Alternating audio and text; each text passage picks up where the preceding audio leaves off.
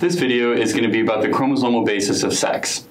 So we know from a previous video that we have two sex chromosomes um, that an individual can have. So there's the X chromosome and there's the Y chromosome. So the X chromosome is going to be much bigger uh, than the Y chromosome and contain a lot more genetic information than the Y chromosome does. And so the Y chromosome is going to be a lot smaller. It's not going to have as many genes, but on the Y chromosome, at the ends of the chromosome, there's going to be regions that are homologous to regions on the X chromosome, which is going to allow um, the X and Y pair to actually pair up during meiosis um, and then separate like normal uh, homologous pairs of chromosomes because of these two regions. So when we actually undergo meiosis in males and females, um, the chromosomes that the gametes get are a little different. So in females, for example, females are always going to have two X chromosomes, or not always, but normally they'll have two X chromosomes. So when a female starts producing eggs, every egg is going to get one copy of an X chromosome. So all of the eggs produced by um, a woman are all going to have an X chromosome. So with males, on the other hand, though, we have um, an X and a Y chromosome.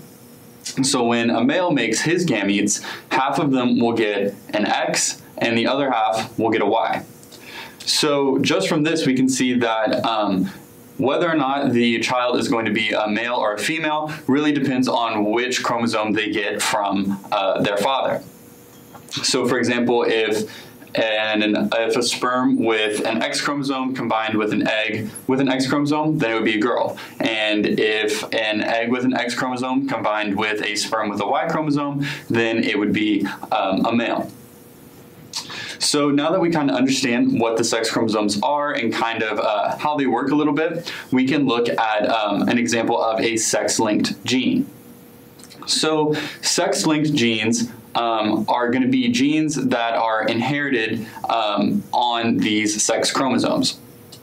So um, a really good example of this is something called the SRY gene. So the SRY uh, gene is called, it stands for the sex determining region of Y. So it's a portion of the Y chromosome that's really important in the development of male um, sexual characteristics. And so this gene, it's on the Y chromosome, so it can only be inherited if you inherit a Y chromosome. And so it'll only um, be present in males. So that would be an example of a sex-linked gene. So that's going to be really any gene that's located on one of these sex chromosomes. Um, another example would be color blindness. So that's an X-linked gene. So that's on your X chromosome, um, and that's how that would get passed on from one generation to the next. And we'll get into uh, what that actually looks like in the next video. I hope you found this video really helpful. The concepts and information presented in these videos will be true regardless of what biology course you're taking. However, the material we covered in this video is specifically referencing material covered in Campbell Biology's 11th edition. Remember that if you are an enrolled Baylor student, we do offer free tutoring on the first floor of the Sid Richardson building, and you can schedule a free 30-minute appointment to have one-on-one -on -one tutoring online, or you can stop by during any of our business hours.